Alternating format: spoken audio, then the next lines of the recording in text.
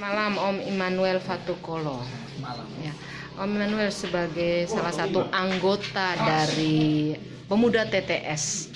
Om Immanuel sarannya apa nih untuk pemerintah eh, karena kedua stikip ini masih berpolemik, tapi sarannya apa untuk Nah, pemerintah? kalau saran saya itu pemerintah memberikan ketegasan, Ya, ketegasan seperti apa? Pak? ketegasan yang bernuansa edukasi. Mm-mm.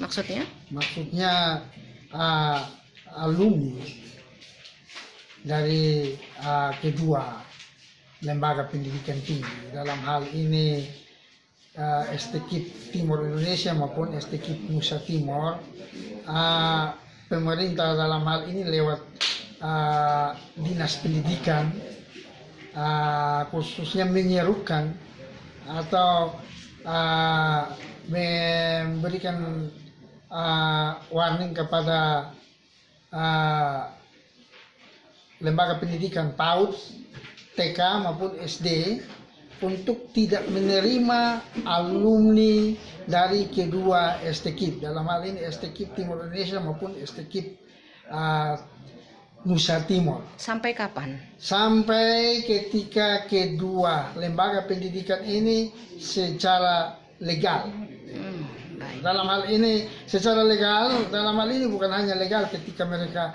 uh, memperoleh perizinan tetapi paling tidak sudah memenuhi syarat untuk mereka mewisudakan uh, mahasiswa-mahasiswanya Kenapa? Kenapa tidak boleh uh, menerima mereka lulusan? Kan Kalau mereka ada yang sudah diwisuda, Iya, ada yang sudah me- menerima menerima ijazah. dalam konteks atau kapasitas saat ini berarti itu sudah memberikan pembelajaran yang tidak begitu sehat Hmm. untuk Kabupaten TTS.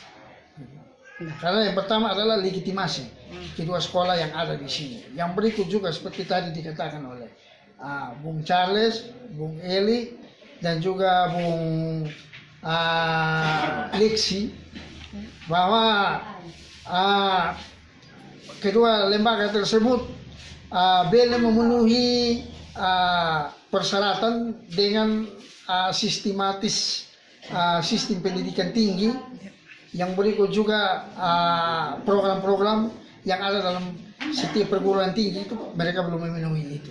Terima kasih. Terima kasih banyak.